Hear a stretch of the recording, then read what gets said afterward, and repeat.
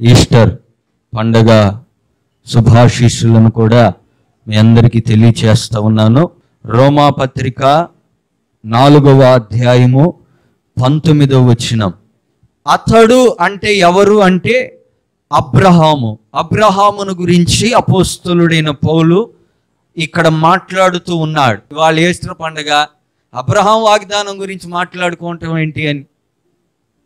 అబ్రహాము శారా ఇరువురు కూడా మృతతుల్యమైనట్టుగా మృతతుల్యమైనట్టుగా అనే మాటను చూసారా శారా గర్భము అబ్రహాము శరీరము మృతతుల్యమైనట్లుగా అబ్రహాము ఆలోచన చేశాడు. ఇక నాలో ఆ జీవము లేదు నాలో ఆ బలం లేదు నాలో ఆ కణాలు లేవు నాలో ఆ శక్తి లేదు నేను మరణపాత్రుడని మరణానికి దగ్గరబడిన వాడిని నా భార్య గర్భము ఆల్రెడీ మృతతుల్యమైపోయింది అని వారు ఆలోచించారు. అర్థమవుతుందా?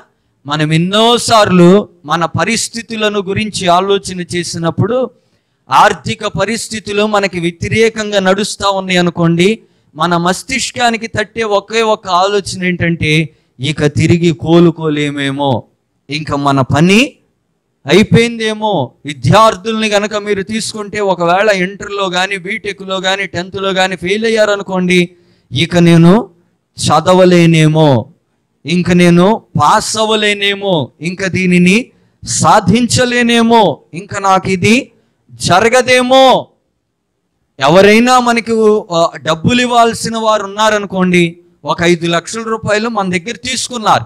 మనకి ఇవ్వాలి వాళ్ళు ఇవ్వడం లేదు. ఒక సంవత్సరం గడిచిపోయింది రెండు సంవత్సరాలు గడిచిపోయింది ఐదు సంవత్సరాలు గడిచిపోయింది. పది సంవత్సరాలు గడిచిపోయాక ఇక మనం కూడా మర్చిపోతాం. ఎందుకో తెలుసా? ఇక అది మృతతుల్యమైపోయింది ఇంకా వాళ్ళు ఇవ్వనట్టే. దానికి మనం ఉపయోగించే మాట ఏంటంటే గాంధీ గారి ఖాతాలో జమ అయిపోయినాయి. గాంధీ గారి ఖాతాలో పడిపోయినాయి. వాళ్ళు ఇవ్వరేమో. మృతతుల్యత మృతతుల్యమైపోయినట్టుగా అబ్రహాము తనకున్న పరిస్థితిని మృతతుల్యమైనదిగా ఆలోచించాడు. కానీ దేవుని వాగ్దానము దానికి శుద్ధ వ్యతిరేకమైనది. స్తోత్ర. అబ్రహాము మానవీయ కోణములు ఆలోచించినప్పుడు అది మృతతుల్యమైనదిగా కనబడింది. మన పరిస్థితులు మృతతుల్యమైనట్టుగా మనకు కనబడతాయి.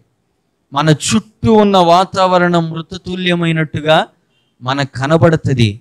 ఇక నా కుటుంబం కట్టబడదేమో ఇంకా నా భర్త మారడేమో ఇంకా నా పరిస్థితుల్లో మార్పు రాదేమో ఈ ఆలోచన ఏదైతే ఉందో దానినే వాక్యము ఏమని సెలవిస్తుంది అంటే వాక్యము దానిని గూర్చి ఏమని సంబోధన చేస్తుందంటే మృతతుల్యమైనట్టుగా. ఈరోజు ఏ పరిస్థితిలో మీరు దేవుని మందిరానికి వచ్చారో నాకు తెలియదు ఏ పరిస్థితిని మృతతుల్యమైనదిగా మీరు చూస్తున్నారో నాకు తెలియదు ఏ బంధకాన్ని మీరు మృతతుల్యమైనదిగా చూస్తా ఉన్నారో నాకు తెలియదు ఏ సందర్భాన్ని మృతతుల్యమైనదిగా చూస్తా ఉన్నారో నాకు తెలియదు కానీ దేవుని వాగ్దానము సెలవిస్తూ ఉంది. మృతతుల్యుడైన యేసుక్రీస్తు పునరుద్ధానుడిగా ఎలా తిరిగి లేచాడో? మరలా మీ పరిస్థితి జీవము పొందుకొని తిరిగి లేపగలిగిన శక్తిమంతుడు ఆయన. స్తోత్రం. పండు వృద్ధాప్యములో ఉన్న శారా గర్భము మృతతుల్యమైనదిగా వారు ఎంచారు గాని దేవుని వాగ్దానం ఏమని సెలవిస్తుందంటే ఆకాశ నక్షత్రాల కంటే ఎక్కువగా ఆ గర్భములో నుండి పుట్టు సంతతిని వంశావళిని నేను విస్తరింపజేస్తాను. మృతతుల్యతలో నుండి ఆశీర్వాదం మొదలైంది. స్తోత్ర. మృతతుల్యత మధ్యనే దేవుని కార్యము మొదలైంది. మృతతుల్యత మధ్యనే ఆశ్చర్య కార్యాలు మొదలైనవి మృతతుల్యత మధ్యనే నా దేవుడు అద్భుత కార్యాలు చేసి చూపించాడు. మన పితరుడైన అబ్రహాము పరిస్థితులలో మృతతుల్యతలో పునరుద్ధానం. మనలో రక్షించడానికి వచ్చిన యేసుక్రీస్తు మరణములో పునరుద్ధానం. ఈ రోజున అది నీ గురించి నా గురించి కూడా రాయబడి ఉంది. ఈరోజు దేవుడు చేస్తూ ఉన్న వాగ్దానము ఆ పునరుద్ధాన శక్తి మిమ్మలను దాని నుంచి విడిపించగలదు. నేను మీకు చెప్పన యేసుక్రీస్తు ప్రభువుల వారు చావు పిలుపుచ్చి వెళ్ళిన చోటల్లా పునరుద్ధానాన్ని చేసి చూపించాడు. లాజరు దగ్గరికి వెళ్ళాడా? లాజరు దగ్గరికి వెళ్ళి లాజరు బయటికి రా అన్నాడు. అని చెప్పగానే మరణించి నాలుగు రోజులైన లాజరు పునరుద్ధానుడై తిరిగి లేచి నడుచుకుంటూ వచ్చాడు. స్తోత్ర. ఇంకో చోట చావు పిలిపొచ్చింది వచ్చింది. నా పాప చనిపోయింది. చనిపోతే చిన్నదానా లే అని చేయి పట్టుకొని అలా లేపగానే చనిపోయిన అమ్మాయి తిరిగి లేచింది. యేసుక్రీస్తు ఎక్కడ అడుగు పెడితే అక్కడ పునరుద్ధాన అనుభవం. మృతతుల్యమైన పరిస్థితుల్లో మనం ఉంటే సజీవుడైన యేసుక్రీస్తు గనక మన జీవితాల్లో అడుగు పెడితే పునరుద్ధాన శక్తి మనలను తీసుకుని వెళుతుంది. ఆయనను గనక నువ్వు ఆశ్రయించగలిగితే మృతతుల్యమైన పరిస్థితుల్లో పునరుద్ధాన శక్తిని అనుగ్రహించి నీ గర్భానికి జీవాన్ని కలుగ చేసే దేవుడు ఆయన. గర్భము ధరించుటకు శక్తి పొందేను. ఇది ఏ శక్తో చెప్పనా? క్రీస్తు పునరుద్ధాన శక్తి. స్తోత్రం. దేవుని వాగ్దానాలు మన జీవితంలో నెరవేర్చబడడానికి దేవుడు మనతో ఈ వాక్యము ద్వారా చేసిన వాగ్దానాలు మన కుటుంబములో నెరవేర్చబడడానికి దేవుడు ఈ వాక్యము ద్వారా సెలవిచ్చిన మాటలు మన పక్షముగా నెరవేర్చబడడానికి మనం ఒక శక్తిని పొందుకోవాలండి. అది ఏ శక్తి తెలుసా? క్రీస్తు పునరుద్ధాన శక్తి. దేవుని మందిరానికి వచ్చి ఆశీర్వాదము దీవెన సమృద్ధి వీటన్నిటిని పొందుకోవటం తప్పని నేను చెప్పట్లేదు కానీ వీటన్నిటికి మించింది దేవుడు మనకి ఇస్తానని వాగ్దానం చేశాడు. అదేంటో తెలుసా? పునరుద్ధాన శక్తి. ఎవరైతే ఆ పునరుద్ధాన శక్తిని పొందుకుంటారో వారు వారి జీవితాలలో వారి కుటుంబాలలో అసాధ్యమైన కార్యాలు సుసాధ్యమగడాన్ని చూస్తారు.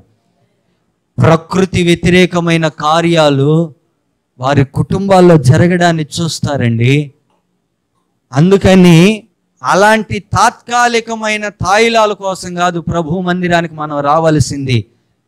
ప్రకృతికి అతీతమైన శక్తిని గనక మనం సంపాదించుకుంటే ఇవన్నీ మనకు లోబడి ఉంటాయి. స్తోత్ర. ప్రకృతిలో ఉన్న ఈవుల కోసం మనం దేవుని మందిరానికి వస్తున్నాము కానీ ప్రకృతిని శాసించే శక్తిని పొందుకోవడానికి రావడంలా.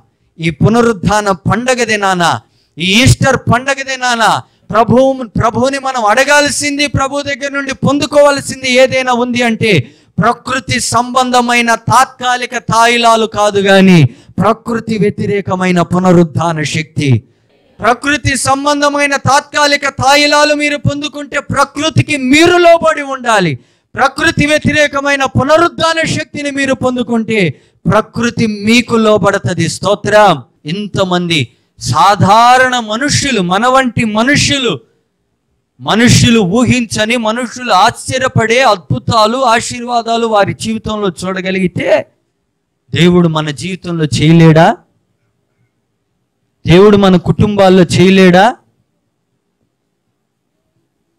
చేయగలడు. నిశ్చయంగా చేయగలడు. అందుకని దైవ సేవకునిగా ఈ పునరుద్ధాన పండగ దినాన నేను మీకు చెబుతూ ఉన్నాను మీ మృతతుల్యమైన పరిస్థితులలోనికి ఈరోజు దేవుని పునరుద్ధాన శక్తి ప్రవేశిస్తూ ఉంది. మీ మృతతుల్యమైన పరిస్థితులన్నీ కొట్టివేయబడి దేవుని పునరుద్ధాన శక్తి మీ పరిస్థితులను శాసించబోతా ఉంది.